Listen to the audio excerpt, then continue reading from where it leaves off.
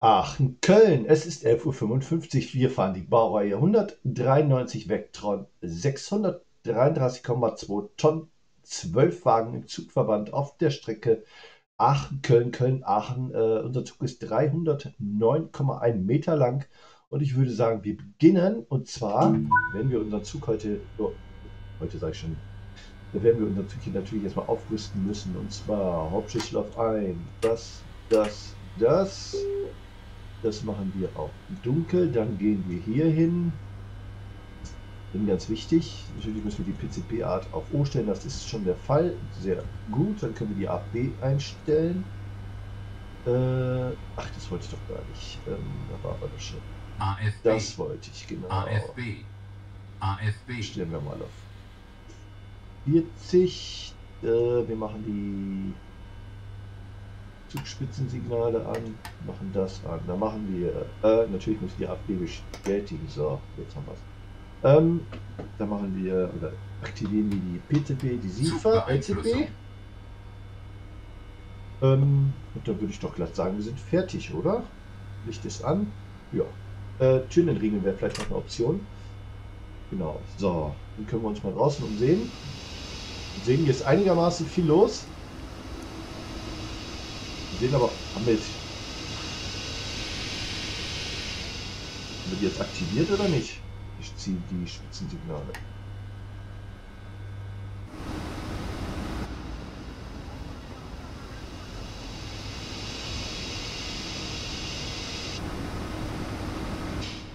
Doch eigentlich jetzt nicht mehr nötig, Fernlicht anzumachen, ne? Äh Genau. Ja, setzen uns mal wieder hin. Müssen wir dich draußen umsehen und sehen, dass hier einigermaßen viel los ist. Also schon ordentlich. So, wir können die Türen verriegeln. Und äh, da haben wir Ausfahrt, würde ich sagen.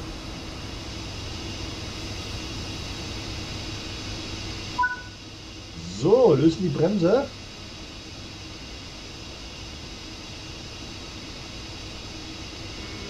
Dann können wir losfahren.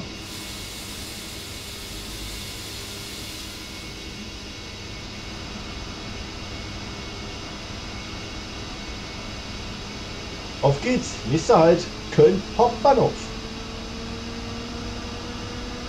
Rein.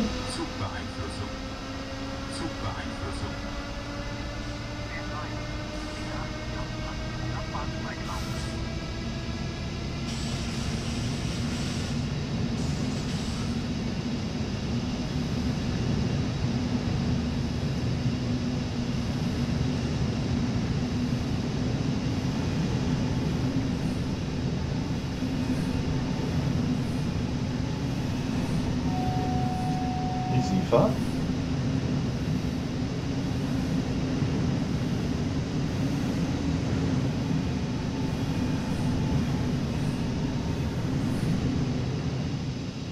Wunderbar. Das hat soweit geklappt. Können wir reinspringen. Haben nach wie vor 40. Das wird sich jetzt mit Sicherheit gleich ändern. Wenn wir mal links und rechts auf die Anzeige schauen.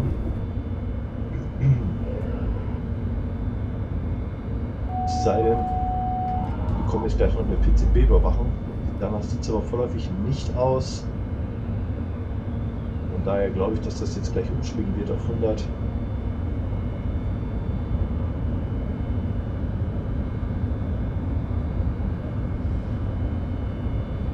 Dass wir dann beschleunigen können.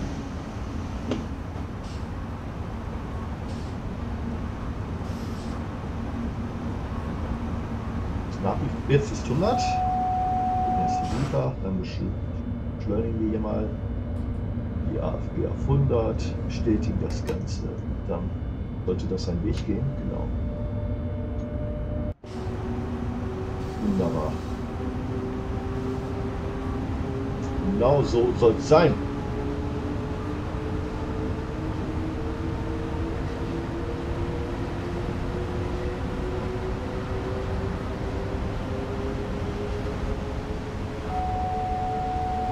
Im Übrigen damit ein herzliches Willkommen zurück zu einer neuen Folge Train Sim World 4. Der Danny spielt das.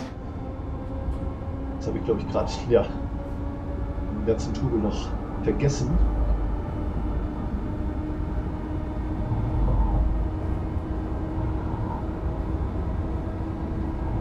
Unserem Railjet von Aachen nach Köln.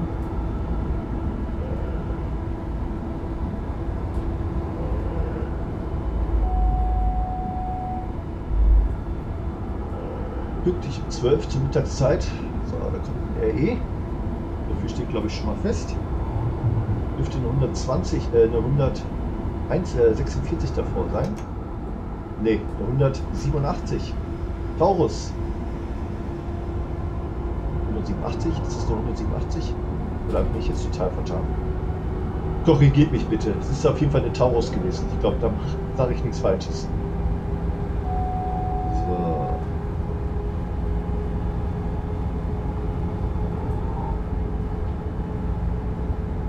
gleich auch schon auf 140.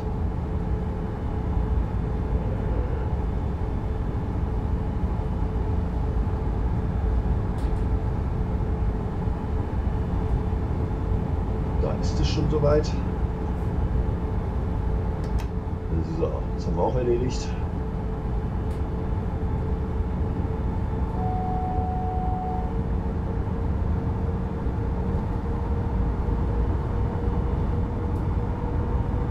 dann haben wir noch 60 Kilometer zu fahren.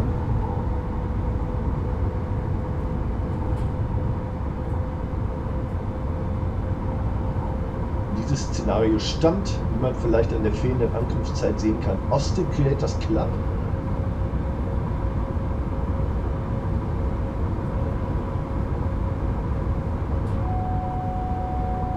Ursprünglich ist die Lok auch in äh, Railjet Lackierung, Repaint, äh, sollte sie sich befinden. Allerdings habe ich das äh, Repaint nicht gefunden, beziehungsweise stand bei der Szenariobeschreibung nicht dabei, von wem das Repaint für die Lok stammt. Von daher habe ich sie nicht gefunden und äh, deswegen ist die Lok halt in ihrem Ursprungsaussehen vorhanden in diesem Szenario, so wie man sie halt mitgeliefert bekommt, wenn man zum Beispiel das die Deluxe Edition oder die Special Edition äh, kauft.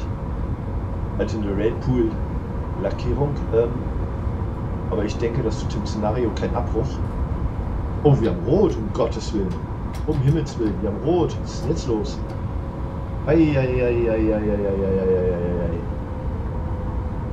Was ist denn jetzt los?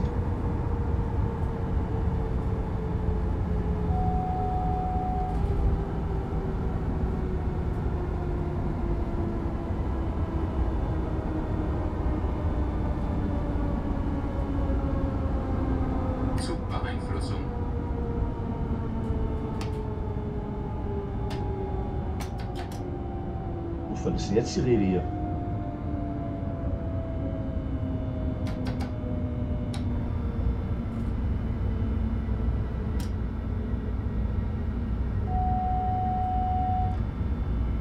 Wir haben Rot. Sagt der Stellwerk. Abgelehnt. Okay. Dann warten wir einfach mal, warum wir Rot haben.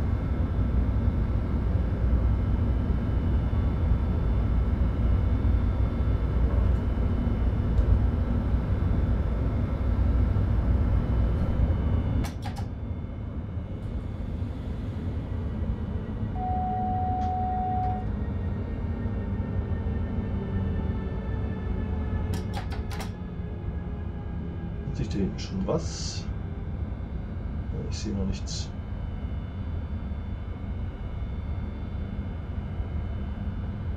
So. Zugbeeinflussung. Mit Sicherheit jetzt gleich ein 500 Hertz Magnet. Mit Sicherheit. Zugbeeinflussung. Ist er nämlich schon?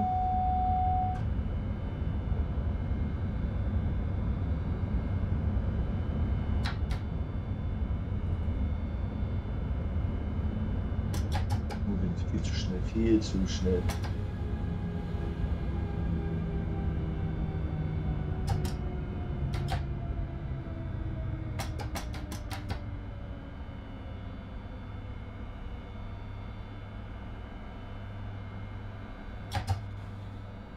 Doch, dann äh, warten wir einfach mal. Schauen wir uns die Karte an. Vielleicht können wir da sehen, warum, weshalb, wieso. Ach.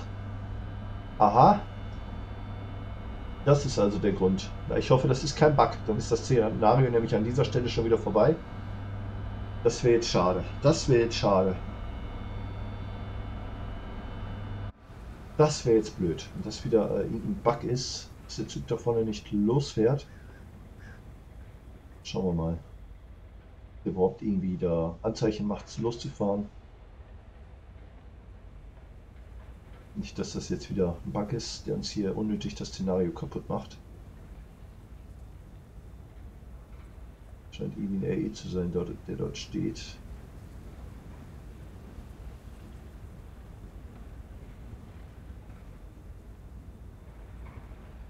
Mal schauen, ob der irgendwie äh, Anstalt macht, loszufahren, ob der irgendwie einen Fahrplan hat oder ob der da wieder nur doof rumsteht. Äh.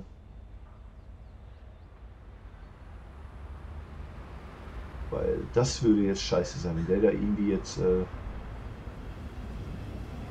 ah, er fährt los, er fährt los. Das ist doch schon mal mindestens erstrebenswert. Das heißt, unser Szenario wird wohl gleich weitergehen, wenn der gleich an uns vorbei ist, wenn er unser Farbig verlässt. Wir können das hier mal so ein bisschen nachverfolgen. So, da fährt er los.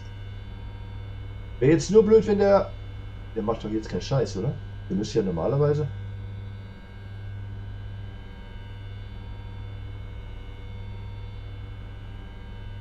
will ja nichts sagen, aber... Aha, ich wollte gerade sagen. Das wäre jetzt alles klar. Gut, dann geht es für uns gleich weiter.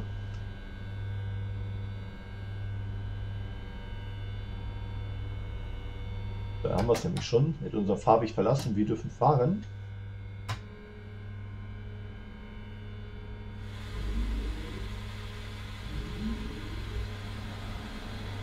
Mahlzeit, Kollege.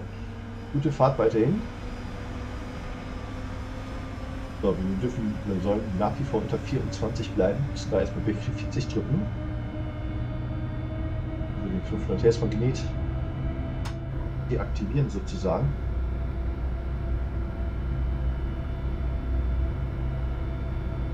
Zugbeeinflussung. Zugbeeinflussung. So, können wir wieder aufschalten.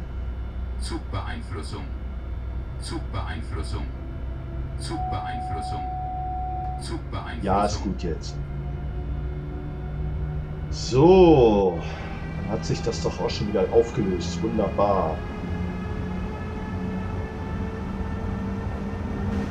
Unsere Reise fortsetzen. Ja, sowas ist natürlich auch schön, wenn dann zwischendurch sowas kommt.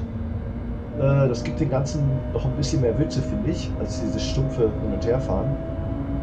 Äh, ja, solange es kein Bug ist, nehme ich sowas gerne mit.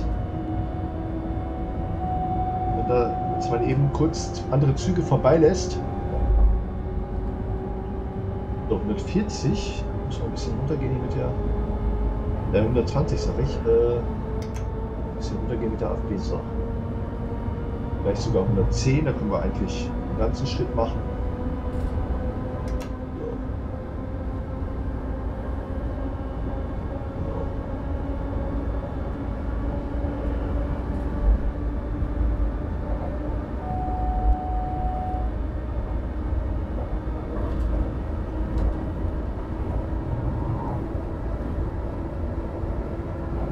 So, dann sind es noch 54 Kilometer bis Köln Hauptbahnhof. Normalerweise hätte der Zugbegleiter ähm, am roten Signal zu den Fahrgästen sprechen sollen müssen. Und zwar, äh, dass der Zug gerade an einem Haltezeichen-Signal zum Stehen gekommen ist und die Fahrt in wenigen Minuten fortgesetzt wird. Äh, so oder so ähnlich wird es auf jeden Fall in äh, den Fernzügen gemacht oder auch im RRX. Wird das auch schon aufgefallen. RRX wird das durch eine äh, Computer bzw. durch eine Frauenstimme äh, ja, vom Band abgespielt. Und im Fernzug macht es der Zugbegleiter.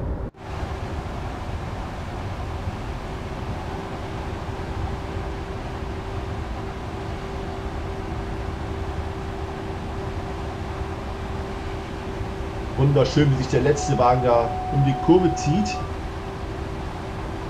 Immer wieder ein wunderbarer Anblick. Wir haben nach wie vor 110.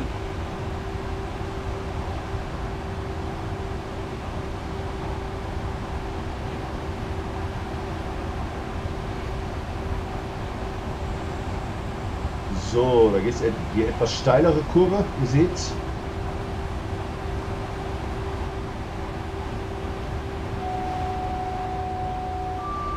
Äh, Zufahrt natürlich. Ah, da kommt jetzt gleich die Geschwindigkeit, auf die ich gewartet habe. Wahrscheinlich sogar mit LZB.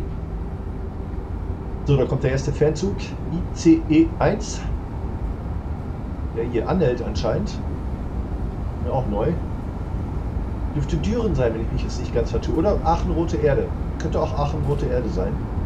Aber seit wann halten da Fernzüge? Naja, ist halt. So,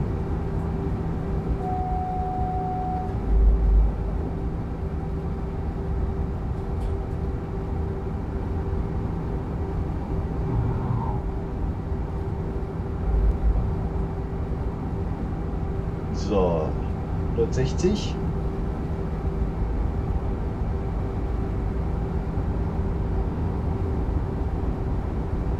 Jetzt. Zack.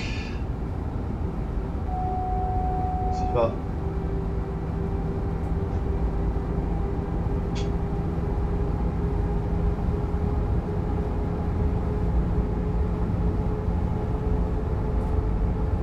So, ob wir auf dieser Strecke LZB haben, weiß ich gar nicht genau. Normalerweise ist das, ist das doch eine Schnellfahrstrecke, sodass hier auch LZB verbaut sein müsste. Ähm, ich weiß jetzt aber nicht, ob das in diesem Szenario hier bedacht wurde.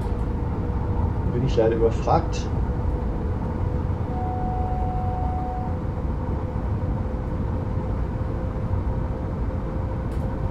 Oder ob das mit diesem Zug wirklich nur auf der Streck äh, Schnellfahrstrecke Kassel-Würzburg vorhanden ist oder möglich ist. Ähm, weil auf der Strecke Kassel-Würzburg ist das definitiv möglich, dass mit dieser Lok im LCB-Modus gefahren werden kann.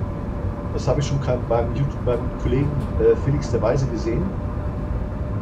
Allerdings ist dort natürlich laut Fahrplan nur ein Güterzug-Szenario möglich. Es sei denn, es wird mal im Creators Club äh, ein Szenario äh, hochgeladen, wo man auch Person Personenzüge auf der Strecke fahren kann. Im normalen, regulären Fahrplan-Modus ist das nicht möglich, sondern da kann man nur mit Güterzügen fahren auf dieser Strecke, wie auch auf allen anderen Strecken. Also im normalen, regulären Fahrplanmodus oder auch Szenario-Modus ist äh, ein Personenzug mit dieser Lok nicht fahrbar, äh, sondern nur Güterzüge, was das Ganze ein wenig schade macht, finde ich, äh, weil ich finde, diese Lok hat genauso die Berechtigung, Personenzüge zu ziehen, wie auch äh, alle anderen Lokomotiven. So, da kommt, sprechen wir schon vom Güterzug, der kommt da an. Also ihr seht auch sehr selten, oder ich habe es eigentlich noch nie gesehen, äh, dass die Vectron als KI Personenzüge zieht, sondern wenn dann immer nur Güterzüge, weil das halt nicht vorgesehen ist von dem Spiel. Es ist von DTG nicht vorgesehen, dass, dieser, dass diese Lokomotive, die Vectron, Personenzüge zieht, sondern sie wurde als Güterzuglok äh, entwickelt und dementsprechend entzieht sie auch nur Güterzüge. Es sei denn, es gibt Creator, die halt daraus äh, Szenarien bauen, die, wo man auch mit dieser Lok Personenzüge fahren kann. Bin ich Ihnen zu schnell? So, weil es bergab geht. Ja, mein Gott. Äh, und deshalb äh, ist das halt so. Schade eigentlich, aber kann man leider nichts dran ändern.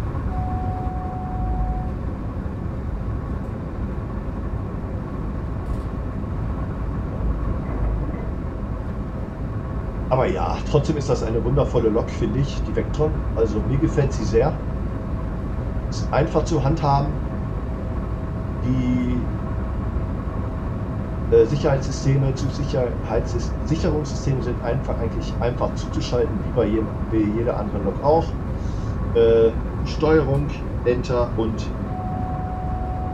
äh, Shift Enter, also auf den Nummerblock und äh, schon hat man die Sicherungssysteme eingeschaltet. Äh, man kann sie natürlich auch manuell einschalten, wie bei jeder anderen Lok auch. Das muss jeder selber entscheiden, wie er es macht. Und äh, ja. die, die äh, AFB ist leicht zu aktivieren, ihr habt es gesehen. links auf dem Display ist ja einmal die, die geht man einmal in den Einstellungen, da kann man die PCB-Art ändern und auch das äh, Land ändern, in dem man sich befindet, äh, ob jetzt Deutschland oder Österreich. Ähm, wenn man zum Beispiel mit der Lok Vor auf der Vorarlbergstrecke fährt, dann sollte man entsprechend die. Äh, kommt schon wieder eine Vectron. Ach! Ach! Okay, ich nehme alles zurück. Ich nehme alles zurück. Jetzt habe ich zum ersten Mal gesehen, dass äh, eine Vectron auch Personenzüge zieht als KI. Gut, dann hat sich das auch schon wieder relativiert. Dann habe ich nichts gesagt. In diesem Szenario ist dann doch alles möglich. Aber so im normalen Fahrplanmodus ist mir das halt noch nicht aufgefallen. Aber hier im so Creators Club Szenario ist dann sowas doch möglich. Okay, alles klar. Äh, wir waren hier bei der, äh, bei der äh, AFB und so weiter. Also man geht hier halt hier in die, in die Einstellung.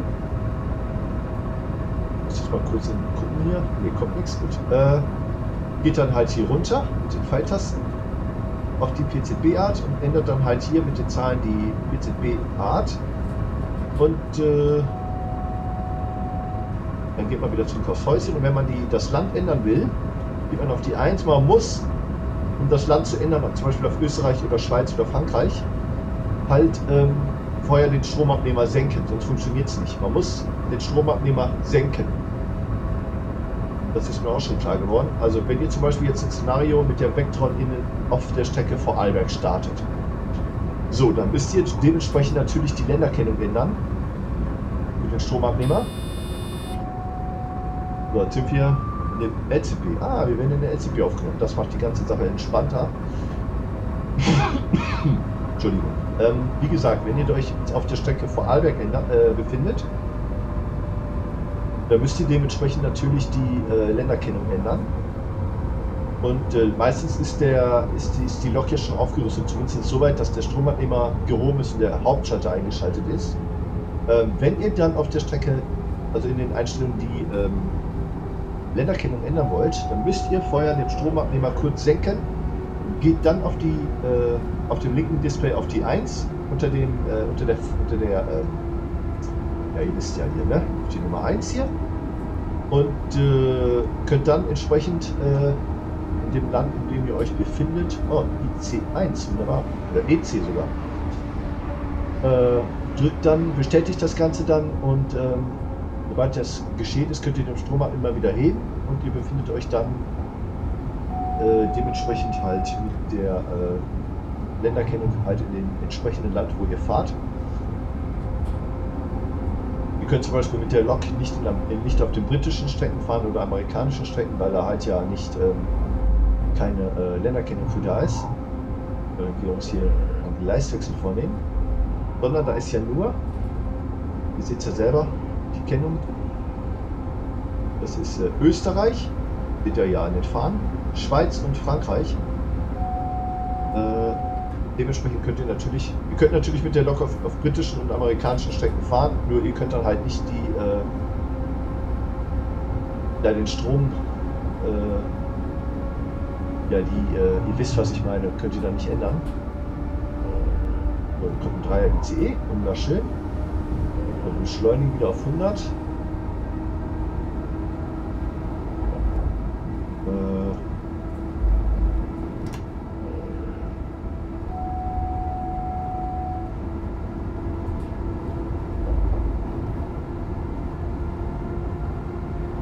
Jetzt geht 200. Wunderschön. Das heißt, wir machen mal Volldampf. Zack. Zack. 250 werden wir natürlich logischerweise nicht fahren können. Das äh, bärt jeder Logik bei dieser Lok. Das zeigt ja nicht mal den Tacho an. Aber 200 sollten wir hinkriegen.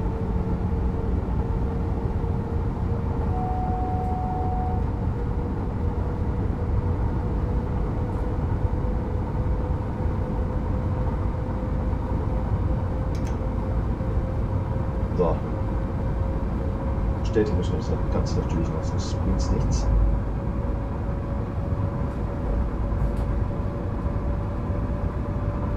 So, also wie gesagt, wenn ihr die Länderkennung ändern wollt, müsst ihr vorher den Stromabnehmer senken, das Ganze dann ändern, bestätigen und dann könnt ihr den Stromabnehmer wieder heben, weil mit gehobenen Stromabnehmer könnt ihr das nicht ändern. Das ist leider so. Das habe ich auch schon festgestellt.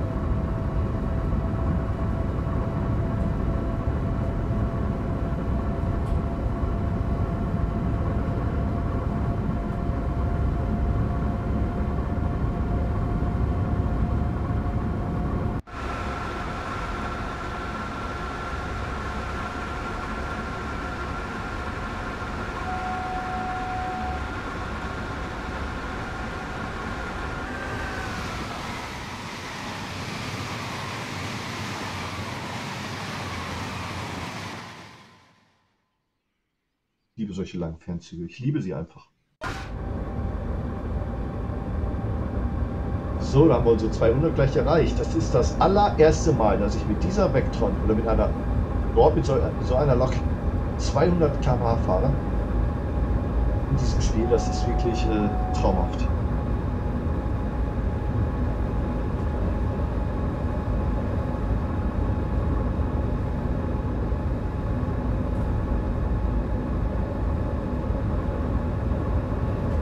Zack, wir fahren 200 mit Vectron. Richtig nice.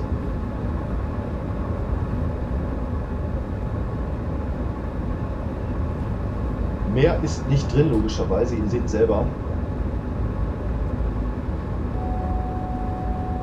Weil diese Lok hat auch eine maximal, maximale Vormax von 200 km/h. Ihr seht's. Daher fahren wir die absolute zulässige Höchstgeschwindigkeit von 200 km/h. Das ist äh, die Vormax, nicht die zulässige Höchstgeschwindigkeit, sondern wirklich die absolute Vormax, die diese Lok schafft. Wie fahren wir?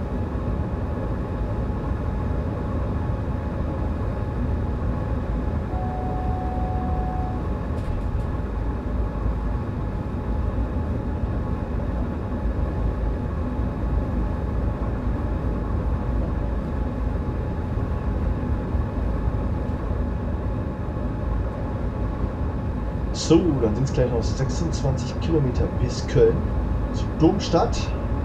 Gleich 7 werden wir einfahren.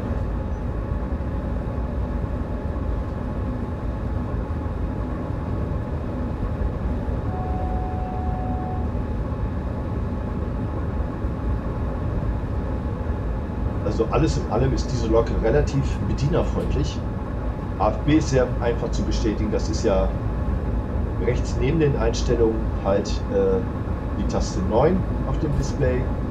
Die aktiviert man, beziehungsweise klickt man einmal drauf und äh, um die gewählte Geschwindigkeit, dann, die man vorgewählt hat, zu bestätigen, halt ein Druck, äh, Druck auf den Hebel. Da steht ja dann auch AFB V, v soll bestätigen.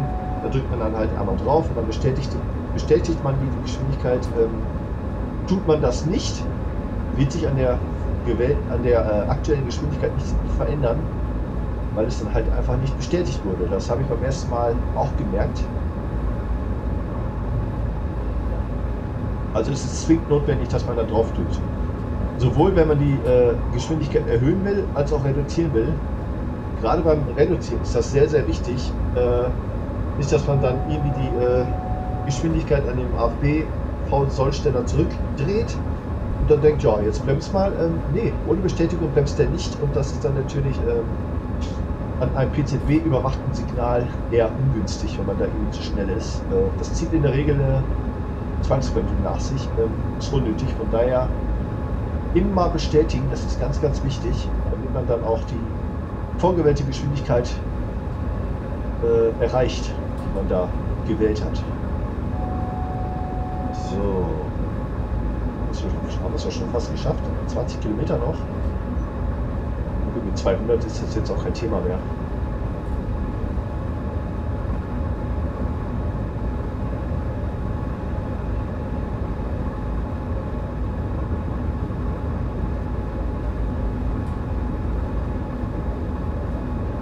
Ich finde ein sehr, sehr schönes Szenario mit viel, viel KI, mit äh, einer Zugkreuzung, hätte ich fast gesagt, kann man das so nennen, glaube ich schon auf jeden Fall mit einem Halter in einem roten Signal, weil man, weil man einen anderen Zug vorlassen muss, beziehungsweise vorbeilassen muss, äh, mit LZB mit 200 km/h. Ähm, wirklich ein gelungenes Szenario an dieser Stelle, muss ich wirklich sagen. Klasse.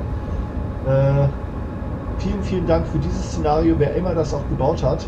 Habe mir den Namen jetzt leider nicht gemerkt, aber äh, vielleicht sieht derjenige ja zu, kennt meinen Kanal, äh, schaut das Video und äh, an dieser Stelle vielen, vielen Dank für das tolle Szenario. Hast dir wirklich was einfallen lassen. Äh, gut ab. Äh, gerne weiter so, gerne mehr davon. Ich nehme es äh, gerne in Anspruch und präsentiere es dann auch gerne. So, 160, sagt die LZB.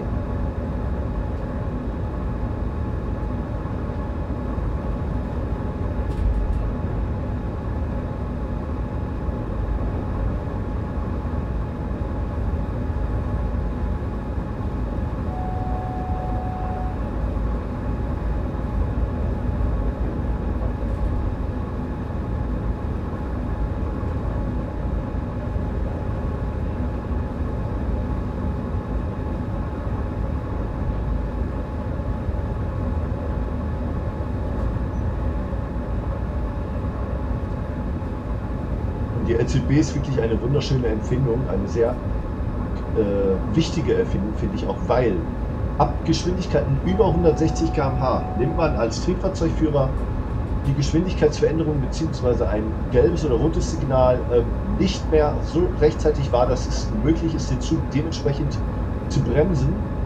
Ähm, deswegen gibt es der LZB, die natürlich Kilometer voraus schon die Geschwindigkeitsveränderungen registriert und dementsprechend auch anzeigt äh, und den Zug dann dahingehend auch äh, bremst.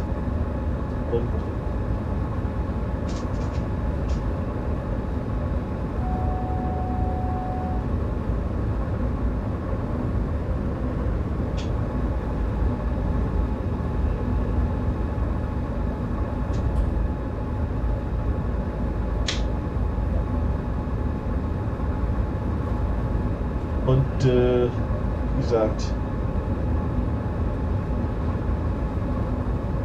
das ist eine feine Erfindung.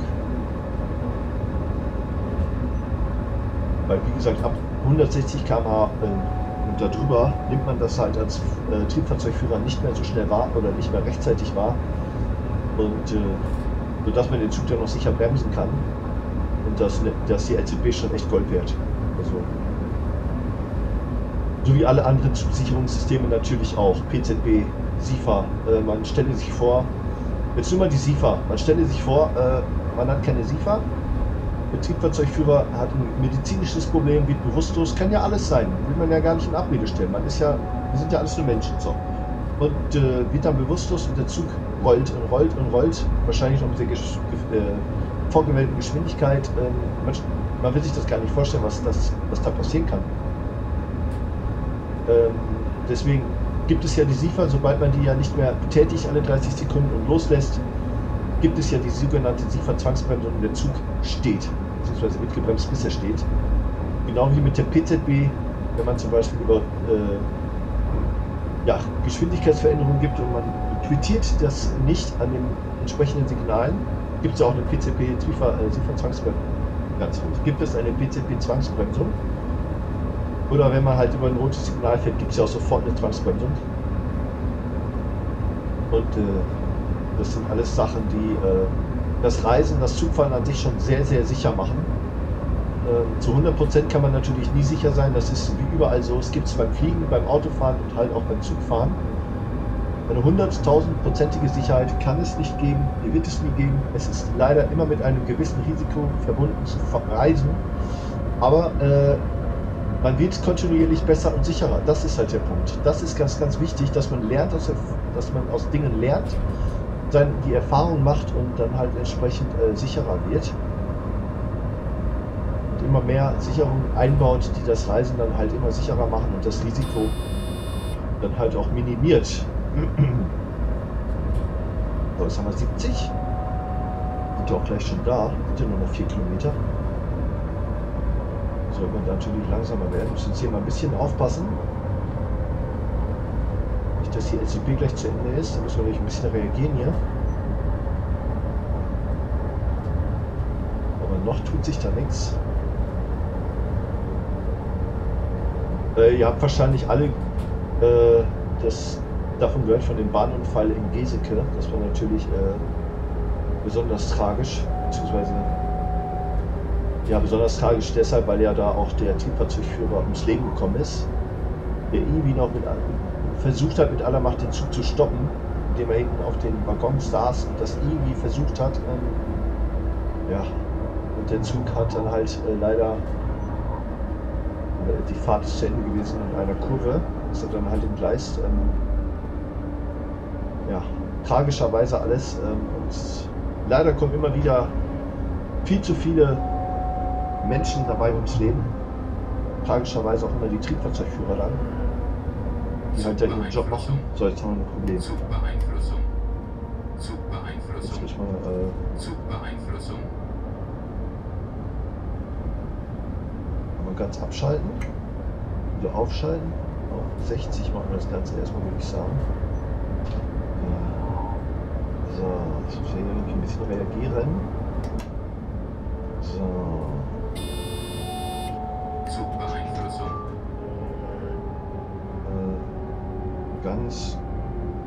Ganz ruhig.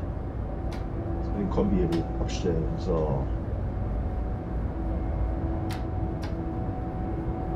So, sind wir glaube ich erstmal sicher 60 fürs erste. Jetzt ist nämlich die LCP zu Ende gleich. Während wir hier in Köln einfahren, das war doch gerade was von 40, ne? Vielleicht ist es besser, wir gehen jetzt auch schon mal langsam gleich auf 40 runter. Bevor uns jetzt hier gleich die PZB einen Strich durch die Rechnung macht. So. Machen wir glaube ich auch nichts verkehrt. Wir haben sowieso keine feste Ankunftszeit. Nicht, dass wir jetzt gleich irgendwie eine Überraschung haben hier. So. Ja, da steht nämlich jetzt glaube ich schon LZB-Ende, ne? Genau, da steht's. Signale und Fahrplan beachten. Ja, jetzt müssen wir nämlich wieder reagieren hier, beziehungsweise auf die SIFA drücken. Deswegen äh, ist es ganz wichtig, wenn die LZB zu Ende geht, einmal bitte bewachsam drücken, damit man das registriert praktisch, beziehungsweise äh, im System mitteilt, dass ist die LZB nämlich zu Ende. Zugbeeinflussung. So.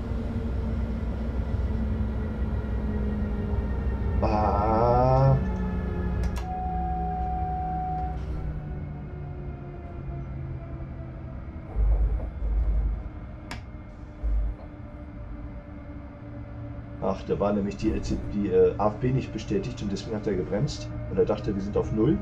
Haben auf Null gedrückt. Deswegen hat er gebremst. Das war jetzt meine Schuld. Hätte die AFB noch einmal bestätigen müssen. Also in Zwangsbremsung war das jetzt nicht, das war einfach nur, weil ich die AFB nicht bestätigt habe und das System gedacht hat, wenn, das, wenn man das so ausdrücken kann, äh, ich habe auf Null, die AFB auf Null gemacht. Das war natürlich nicht der Fall. So. Fahren wir jetzt hier schön in den, in den Kölner Hauptbahnhof ein. Das war irgendwie ein Stromabnehmer, der da irgendwo gehoben wurde. So. Würde ich wahrscheinlich quittieren. Nee, oder? Zugbeeinflussung.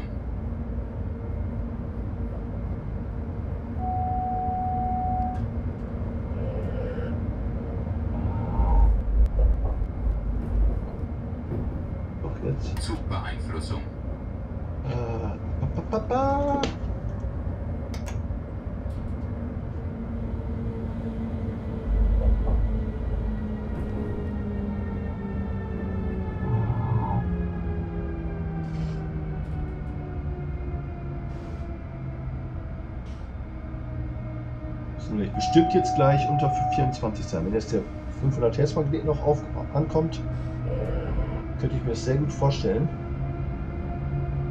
Ja, an der liegt nämlich ein Magnet da links. Oh, ist kein 500er, okay. Das wundert mich jetzt etwas. Vielleicht der, der da jetzt rechts kommt oder links, ist auch noch einer. Kann jetzt natürlich noch kommen. ist er. Zugbeeinflussung. Muss man nämlich auch bitte bewachsam drücken. So, anbrennen dürfte jetzt nichts mehr. Wir sind definitiv unter 24.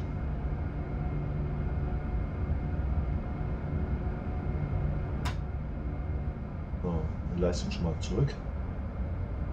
Und dann rollen wir langsam an das Ziel heran. Noch ein einziges Mal die SIFA. Und dann wir doch noch etwas aufschalten. Egal, dann bleiben wir halt hier stehen. Äh so, entriegeln die Türen. Dann gehen wir nach draußen. Wir können uns ja ein wenig umschauen. Dort steht noch eine Taurus. Ich möchte gerne mal wissen, was das für eine Baureihe ist. 182, okay, alles klar. Der fährt übrigens auch nach Köln. Hat er geschafft. Äh, ist hier sonst noch was am Stehen an Rollmaterial?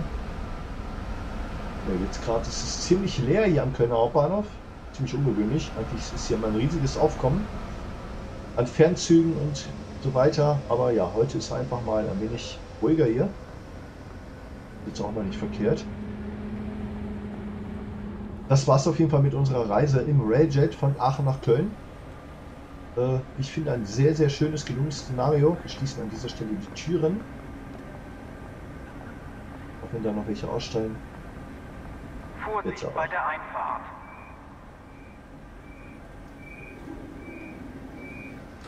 Und dann war es das wahrscheinlich. Da wird noch ein EC reingefahren, aber wir sind hier fertig. Äh, wenn euch dieses Szenario gefallen hat, dann lasst einen Daumen nach oben da. Wenn nicht, macht ihr immer gar nichts. Äh, ich hoffe, ihr seid in einem der nächsten Videos wieder mit am Start, wenn es wieder heißt, der Danny spielt das. Äh, ich habe bereits äh, ein neues Projekt, das heute oder morgen. Äh, seid gespannt, was da auf euch zukommt. Ähm, bis dahin sage ich Ciao, Servus und Tschüss. Hoffe, ihr bleibt gesund, gesund und mir treu. Äh, ja, habt noch ein schönes Wochenende. Passt auf euch auf. Bis zum nächsten Mal. Macht's gut. Euer der Danish Peters. Ciao, Servus und Tschüss. Haut rein. Bye.